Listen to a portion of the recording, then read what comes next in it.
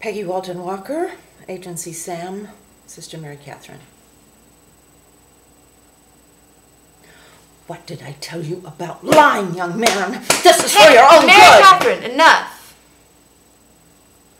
I'm in charge of these boys. That doesn't. Mary Catherine.